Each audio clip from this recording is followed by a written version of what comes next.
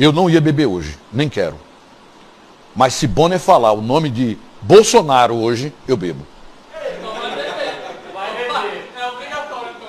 Será? Será? Não, vai. Se Bonner, só vou beber se Bonner falar Bolsonaro, aí eu bebo.